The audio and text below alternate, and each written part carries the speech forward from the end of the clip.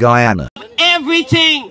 Yet they're looking for an answer. They're looking for more to life. So many people are wealthy, they have a good job, but guess what?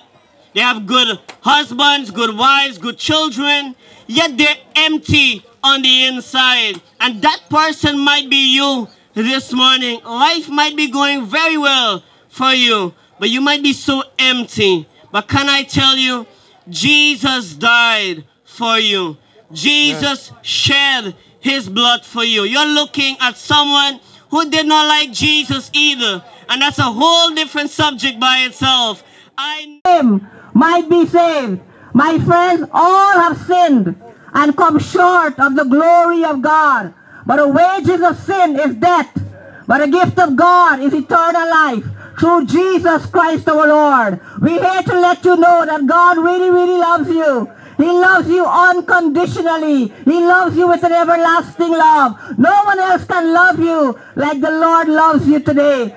He proved that love. Amen. He gave his very life for you today. And today we're here to lasting life. There is no other in this world that can compare to Jesus. The Bible said God has looked upon this earth when it was sinning. I want to share with you this morning because, you know, you've just heard about Noah, but I want to tell you the reason why God has destroyed the earth at that time with the flood because the people were in sin. The Bible said for the wages of sin is death, but the gift of God is eternal life, and that is Jesus Christ. The gift of God is Jesus Christ this morning, who we can have re receive eternal life from. And so I want to say to you this morning, God destroy the world for when he comes.